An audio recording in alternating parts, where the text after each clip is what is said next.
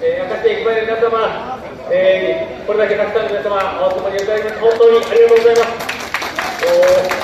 もう涙が出そうです。ありがとうございます。めちゃくちゃ嬉しいです。元気いただきます。もう今回選挙戦が本当にですね、まあ大混乱というか、まあネットの中での誹謗中傷もすごいことになってますし、もうカオスですね。もうこんな選挙、いろんな選挙やってきましたけども、こんな選挙は本当に初めてというぐらいですね、いろんなもう本当に注目はいただいてるんですけども、まあしんどいこともたくさんありますし、まあ難しい選挙だなと思いながら、え今回の選挙戦をやっています。でもね、やっぱりね、こういった混乱している状況をね、なんとかね、こう立て直していきたい、突破していきたいなというふうに思ってます。あの、ここ来る前、姫路の駅前でね、ガイドインさせていただいたんですけども、その時にあの、ある、あの、女性の方から言われまして、もう選挙清水さんも、今回ひどいよと。本当に兵庫県の今回の選挙はひどいよと、もうみんな中ぐちゃぐちゃだよと、で兵庫県民として恥ずかしいということをおっしゃってました、こんな選挙やってるね、兵庫県が恥ずかしいということを言われました、僕もそう思います。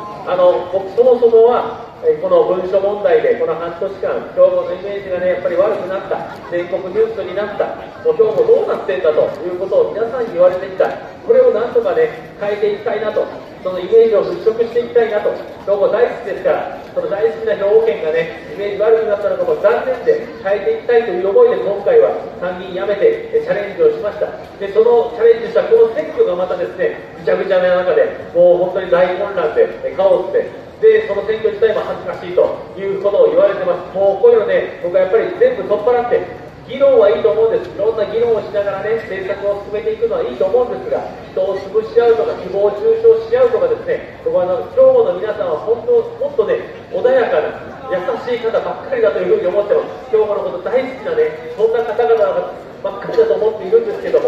の状況は違いますね。本当にもうおかしな状況になってきています。だからこういうのもね、全部も取っ払ってですね、もう兵庫よくしていこうよという、そういった皆さんの力を合わせて、なんとかね、兵庫県立て直していきたい。イメージ悪くなってますから、兵庫のイメージ変えていきたい。えこのように思っております。ぜひお力貸してください。どうぞよろしくお願いいたします。ありがとうございます。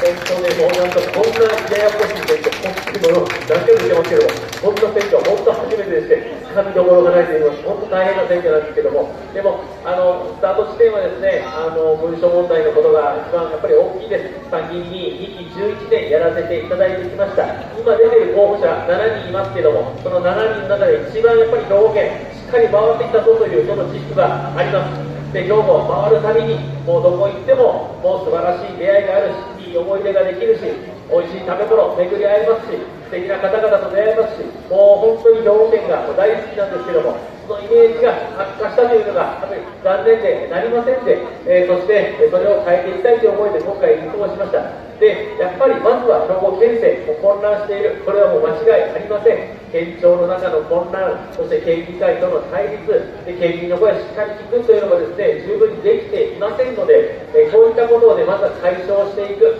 で、えそのためには、今どんなリーダーが必要かと言いますと、あそうそう、あの今この地ですごい注目されてますので、もうテレビの出演とか討論会たくさんありましたけども、この前、カンテレ出ましてね、カンテレのニュースランナーで調査をしてました。県民の皆さんに聞いた、今回の実践のポイント、気になる点、何ですか？もういろいろありますよ。少子化対策とか、教育の問題とか、いろいろある中で、1位は知事の支出知事の資質という話でした。やっぱり、僕はそこが大きかったんだと思います。文書問題に関してもそうです。ね、あれだけでやっぱり大きな混乱が起きてしまいました。文書問題に関しても、ちゃんと初期対応さえしっかりと間違っていなければ、もうそこのね、やり取り今ね、もうネット上もすごいですけども、僕はやっぱり初期対応に誤りがあったと思います。告発された側が告発した人を処分をしてしまう。しかもちゃんと調査をせずに、第三者であそこで目を入れていたらよかったんです。第三者の調査をしっかり入れていたらですね、元県民局長が亡くなってしまうという、そういうもう残念な事態にもつながらなかったというふうに思ってます。ですから、初期対応がやっぱり間違っていて、その後の流れもおかしくなって混乱が起きてしまった。これをね、やっぱり立て直していかなければいけないというふうに思っています。で、あの加えてですね、あの知事の資質という問題で、すごくあの文書問題と、何ですか、えーはいえー、そうです。あの、まあ、その混乱は、ね、絶対避けられていたというふうに考えていますので、本当にそこをまずはしっかり立て直していきたい、指示の資質というところですから、ここはね、もういろんなリーダー像があると思うんですけども、ここはやっぱり、ちゃんと今はコミュニケーションを取りながらですね、話を聞いて、県庁の職員の皆さんともチームになって、チーム一丸で表現を立て直す、そんな人がね、求められているんじゃないかと思います。確かに、改革は必要です。絶対必要です。兵庫県の中というのも、これ、岸口さんの中で多分一番詳しいと思いますけども、まあ、ずっと総務省出身の地域知事がですね、長いことやってきて、やっぱり凝り固まった部分、変えなければいけない部分、こういうのもね、たくさんあると思います。そういったところにしっかりメスを入れていく、これは本当に大事なことです。改革を進めていく、財源をそして作り出していく、こういったことも本当に大事なことです。大学団体の数だってね、この兵庫県のが多いんです。大阪の人口880万人の大阪より534万人の兵庫県のがね、外国団体の数多いんです。県民の県営施設だってもっともっと有効活用ができます。で僕自身の身を切る改革もね、これしっかり進めていきたいというふうに思ってます。こういったことで、まだまだやれることは財源しっかり作り出して、子どもたちへ投資をしていく、こういったさ、ね、あの作業、本当に必要になってきますけども、そういうことはやりながら、やっぱり県庁内というのは、しっかりとチーム一丸となってですね、立て直していかなければいけないというふうに考えてます。指示がね、上、県庁の職員の皆さんが下、指示が上で、市町村長さんが下、こういった構図はもうもう変えていきたいと考えています。国に行きました、国会議員にいたらやっぱり国がね、みんなが陳情に来るわけですね、えー、国、あの橋作ってくださいよ、道路作ってくださいよ、予算くださいよ、でもね、こうやって予算要望してるだけじゃなくて、チーム一丸となってですね、えー、この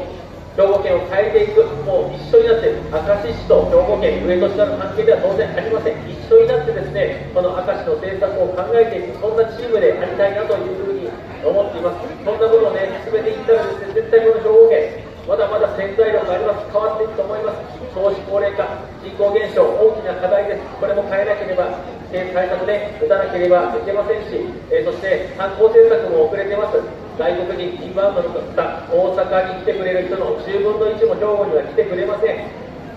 観光客1億1000万人ぐらい年間来ますけども、宿泊してくれる人はわずか1割です。残りの9割はもう日帰りになってしまいます。もうこれぐらいですね、え観光政策もまだまだやれることがたくさんあります。これ県がね、司会となって岸口さんなんかの力を合わせてですね、やっていきたいなと思ってます。この神戸に来てね、明石の温泉で買い物して、美味しいもの食べてもらって、で、姫路行ってもらって、泊まってもらって、で、広島行くんじゃなくて、そこから上に上がってもらってですね、太陽とかかき氷でね、素敵な景色見てもらうとか、美味しいもの食べてもらうとか、こういうね、表現全員違うようなこと、そして明石も海産物ね、観光やら、えー、いろいろ有名ですけども、そういった名産品を高く売れるようなブランド化してですね、生産者が潤うようなことも、これもやっていきたいなというふうに思ってます。この辺、表現がね、まだまだ十分ではないなというふうに思ってますので、そういった観光政策とか、ね、農産品のその倍価を上げるような政策、これやったらね、この中心部、大都市だけではなくて、道県全域が潤います。道県広いですから、地方都市もたくさんありますので、こういった地域、疲弊してしまっている、本当疲れてしまっているその地方都市が潤うようなこともね、やっていきたいなというふうに思ってます。でもやっぱりその前に何といってもこの混乱した状態、選挙もこのカオスの状態、こういったことで解消していきたい、本当にもうむちゃくちゃな選挙に今なってますんで、もうこの兵庫県が恥ずかしいと、今の選挙恥ずかしいと言われた、さっきの姫路で言われた言葉、印象的です。これだけで人を誹謗中傷してですね、潰し合って、叩き合って、こんな選挙していたらね、本当にいい結果なんて呼ばれません。このまま選挙終わってもまた分断が続きますよ。対立が続くだけですよ。こんなことしていたらね、表現なんか良くなりません。もっとね、意見の本当に繰り返します意見のぶつけ合いは、ぶつかり合いはいいです。政策議論するのはいいです。でもね、人のことを蹴落としたり、誹謗中傷したりしていたら、対立なんてずっと続く一方、ね、これ選挙終わっても、知事が新しくなったって、これ変わりません。僕はね、こういったものをですね、全部乗り越えて、やっぱり今日もよくしていこうという、その皆さん方と一緒にですね、今日も変えていきたい。この対立構造からですね、理由はチームワーク、こういったものにね、変えていきたいなというふうに思って。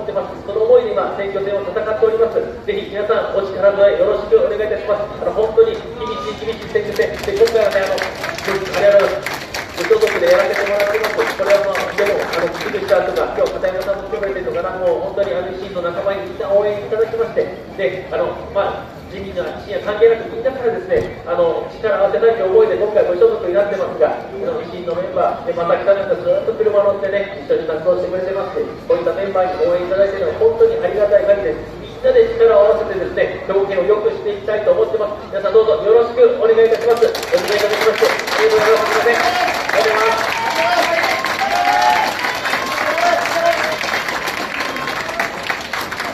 にさして残された時間、本当にもうあと1週間なんです。えー、この先で